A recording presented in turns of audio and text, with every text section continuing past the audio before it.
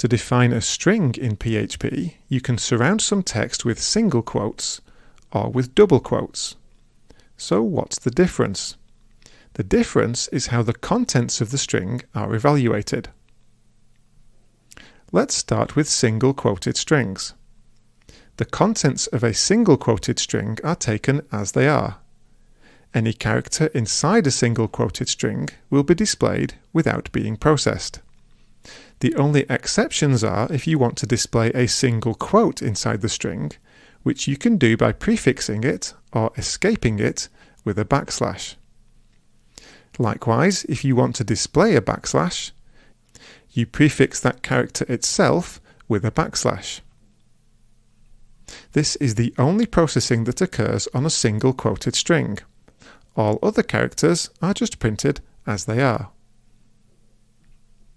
As for double quoted strings, in addition to escaping single backslashes, there are several escape sequences that will be interpreted as special characters when the string is displayed. For example, if a double quoted string contains backslash n, this will be converted to a line feed or new line character. There's a full list of the available escape sequences for double quoted strings in the PHP documentation. Additionally with double quoted strings, you can insert the value of a variable.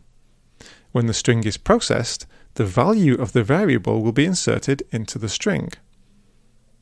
If it's not obvious where the variable name ends, an error will occur, as in this example, PHP will take the variable name as fruits.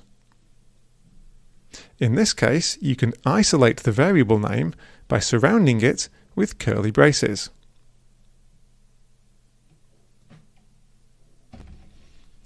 As for performance, well, the contents of single quoted strings are processed less than double quoted strings, so there can be a slight performance advantage in using single quoted strings. However, in the real world, this is negligible and is an optimization that's not worth worrying about. There's a comparison between the speed of single quotes and double quotes on the PHP benchmark site here.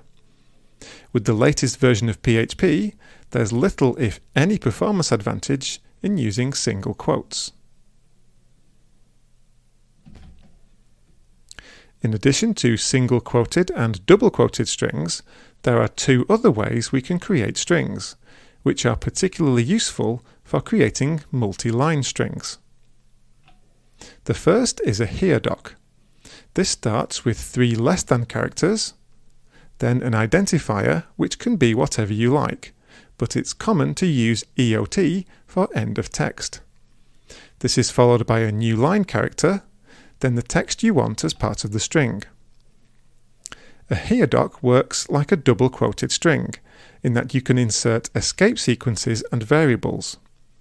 In addition, if you want to insert a double quote character, you don't need to escape it. To end the heredoc, place the same identifier on a new line at the end of the string. As of PHP 7.3, you can indent the closing identifier if you like, as long as none of the lines of the string have less white space in front of them. If you do indent it, then the same amount of white space before the closing identifier will be removed from the start of each line when the string is displayed. A nowdoc is similar, except this works like a single quoted string, in that no parsing is done, so you can't insert special characters or variables.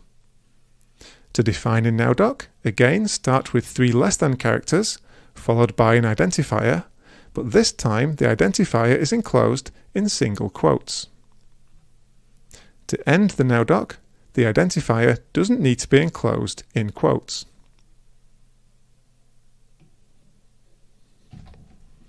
So which method should you use to create a string? If you want to insert the value of variables or escape sequences, use a double quoted string or a heredoc.